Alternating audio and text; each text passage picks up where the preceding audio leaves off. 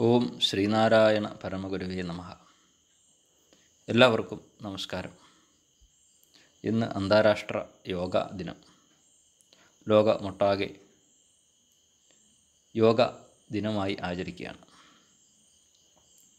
ഭാരതത്തിൽ നിന്നും ലോകമാകെ വ്യാപിച്ച മഹത്തായ ഒരു സംസ്കാരത്തിന്റെ ഭാഗമായ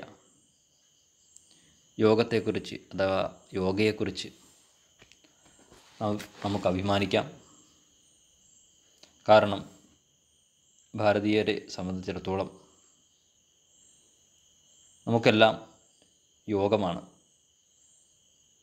ഭക്തിയോഗം കർമ്മയോഗം ജ്ഞാനയോഗം രാജയോഗം ക്രിയായോഗം മന്ത്രയോഗം തുടങ്ങി എത്രയെത്ര യോഗ വിദ്യകളാണ് ഈ ഭാരതത്തിൽ നിലനിന്നിരുന്നത്. അവയെല്ലാം ഭാഗികമായും ഒക്കെ ഇന്നും നിലനിൽക്കുന്നു. ഭഗവത്ഗീതയിലെ പതിനെട്ട് അധ്യായങ്ങളും ഓരോ യോഗങ്ങളാണ്. അർജുന വിഷാദ യോഗം മുതൽ പതിനെട്ട് അധ്യായങ്ങളും യോഗമായി എഴുതിയിരിക്കുന്നു. ശ്രീനാരായണ ഗുരുദേവൻ മഹത്തായ സംഘടനയ്ക്ക് എസ് എൻ ഡി പി യോഗത്തിന് പേരിട്ടപ്പോൾ തന്നെ യോഗം എന്നാണ് അവിടെയും ചേർത്ത് വെച്ചത്. അങ്ങേ തിരുവുള്ളൂറിയൊരൻപിൻ വിനിയോഗം ഞങ്ങൾക്ക് ശുഭം ചേർത്തിടും. ഈ ഞങ്ങളുടെ യോഗം എന്നാശാൻ പാടിയിരിക്കുന്നു. പത്തരത്തിൽ മഹാഗുരുവിന്റെ ജീവിതവുമായി ഇഴപിരിയാതെ യോഗ ചേർന്ന് നിൽക്കുന്നു യോഗം ചേർന്ന് നിൽക്കുന്നു എന്ന് നമുക്ക് മനസ്സിലാക്കാൻ സാധിക്കും.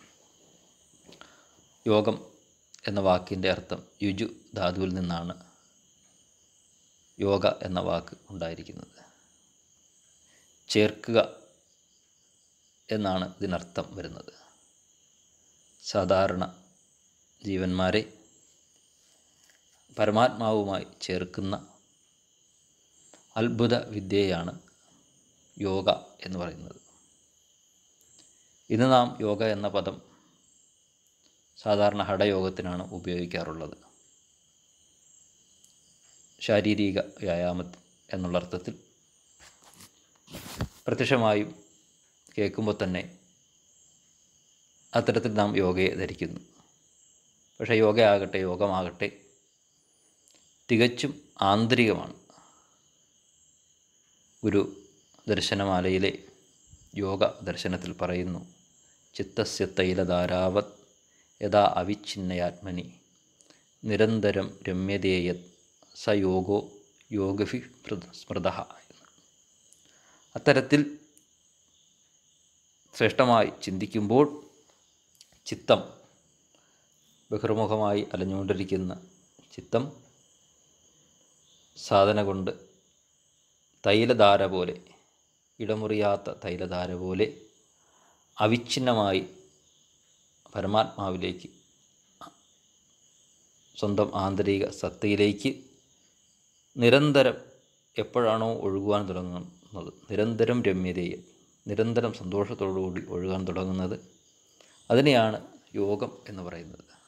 അത്തരത്തിൽ ബഹിർമുഖമായ അലഞ്ഞുകൊണ്ടിരിക്കുന്ന ആന്തരിക ശക് ശക്തിയെ നമ്മുടെ ഊർജ കേന്ദ്രമായ പരമാത്മാവിലേക്ക് പ്രവഹിക്കുന്ന പ്രവഹിപ്പിക്കാൻ സാധിക്കുന്ന അത്ഭുതകരമായ വിദ്യയാണ് യോഗ എന്നുള്ളത്.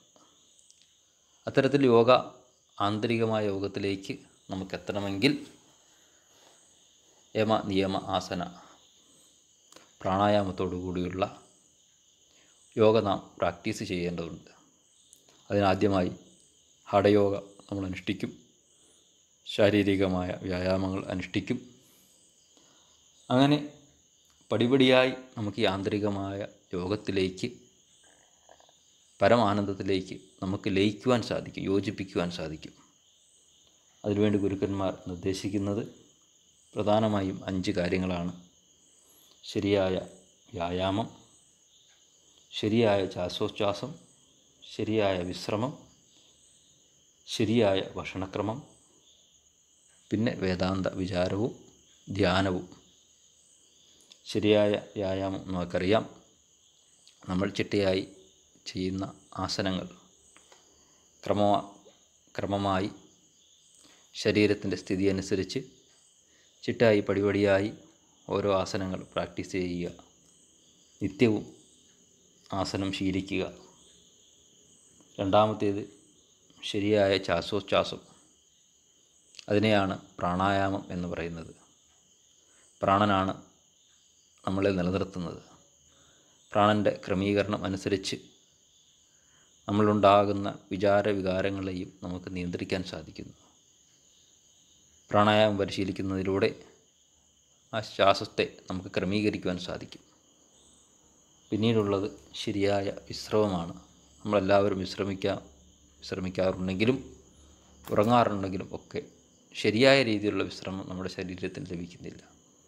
അങ്ങനെ ശരിയായ വിശ്രമത്തെ പരിശീലിപ്പിക്കലാണ് ശവാസനത്തിലൂടെ യോഗ ചെയ്യുന്നത്. പിന്നീടുള്ളത് ശരിയായ ഭക്ഷണക്രമം. ഒരാൾ യോഗം യോഗ പ്രാക്ടീസ് ചെയ്യുമ്പോൾ ആ യോഗത്തിനനുസരിച്ച് മൊത്തമായും മാറേണ്ടതായിരിക്കുന്നു. അയാളുടെ ഭക്ഷണവും മറ്റു വ്യാപാരങ്ങളും എല്ലാം ആ യോഗത്തിന് അനുരൂപമായി മാറ്റേണ്ടതുണ്ട്. അപ്പോൾ യോഗം അനുശാസിക്കുന്നത് ശരിയായ ഭക്ഷണമാണ്. അത് സസ്യാഹാരം. കഴിച്ചുകൊണ്ട് യോഗ പ്രാക്ടീസ് ചെയ്യുമ്പോഴാണ് ശരീരഘടന മാറി അയാളൊരു യോഗിയായി പരിണമിക്കുന്നത് അത്തരത്തിൽ സസ്യാഹാരത്തെ ശീലമാക്കുക. പിന്നീട് വേണ്ടത് ഗുരു ഉപദിഷ്ടമായ വേദാന്ത വിചാരവും ധ്യാനവുമാണ്. അങ്ങനെ ഉയർന്നുയർന്ന് മഹാഗുരുക്കന്മാർ ഉപദേശിച്ചതായ മഹത്തായ യോഗ വിദ്യയിലൂടെ ആന്തരികമായ ശക്തിയെ ഉണർത്തി നമുക്കേവർക്കും ഒരു പുതിയ മനുഷ്യരായി ഒരു പുതിയ ലോകത്തെ സൃഷ്ടിക്കുവാൻ പ്രാപ്തരായ പുതിയ മനുഷ്യരായി നമുക്ക് ഓരോരുത്തർക്കും മാറാം. അത്തരത്തിൽ പുതിയ മനുഷ്യർക്കുള്ള പുതിയ ശുദ്ധിക്കുള്ള ഒരു ദീപനാളം ഏവരുടെയും ഹൃദയത്തിൽ ഈ യോഗ ദിനത്തിൽ തിരിതെളിയട്ടെ എന്ന് പ്രാർത്ഥിക്കുന്നു. എല്ലാവർക്കും ഒരിക്കൽ കൂടി നമസ്കാരം.